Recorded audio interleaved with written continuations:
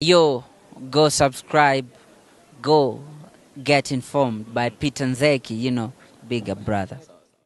So hello guys, welcome to Peter Nzeki TV, uh, the number one online and entertainment show in Kenya. Uh, my apologies, I've been a bit quiet, been handling a couple of personal issues, but I am here.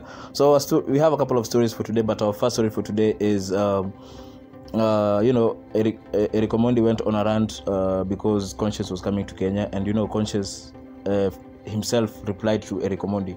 So this is after, you know, yesterday Energy Radio um, posted a poster saying that Konshens will be coming on the 31st of December. And you know, Eric Omondi uh, responded to the poster and said, and I quote, Honestly, are we doing this badly? Is the state of our music industry really this bad? I really have nothing against international artists. My art is profusely bleeding for our industry. You honestly want to tell me what? You honestly want to tell me that Khaligraph Jones, Otile Brown, Nyashinski, concert cannot pull crowds on the last day of the year. I have no problem with Konshens. My issue is our own messaging.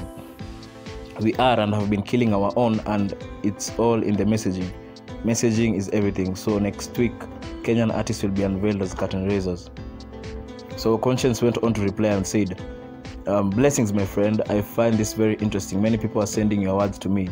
We'll have to sit down and hear what exactly your issue is. Are you upset with the international artists for loving your country? Local artists and promoters for not doing enough shows? Local fans for showing too much love to international artists or not showing enough support locally? Or what? Nobody is trying to milk your country. Your country just has a crazy love for all genres of music and a respect for artistry. That's why artists love it there.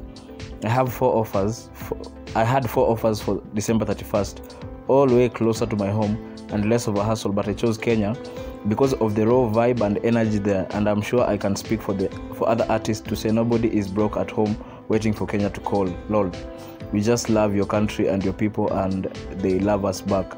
You should be direct with what your real issue is instead of these Trump like quote unquote tactics. Let's talk one day, or maybe you're just joking. But if you're serious, let's open a line. End of quote. So that's what Conscience said, and I believe what he said has has great, great uh, message and great, great value. But uh, you know, Eric Omondi, unajua pia mi nasemanga hii ya wasanii wa majuu kuletwa Kenya aimaanishi ati was- Kenya hakuna wasanii, but unajua it also needs to make business sense. Unajua uh, thereis no one who is willing to put money up for a show na wasanii wenyewe wa kenya thereis no branding hakuna kitu yoyote wako nayo so yeah those are my thoughts on that what are your thoughts on this story of eric omondi and conscience uh, tassel fight apakule apakule what are your story what are, what are your thoughts on this please comment subscribe and share In man Peter Nzeki on the Peter Nzeki TV. How you guys doing? You want celeb news, you want government news, you want breaking news. There's only one place to get it. Peter Nzeki News. Subscribe, subscribe. Let's take it to the next level. Peter Nzeki to the world. White Media tafadhali. White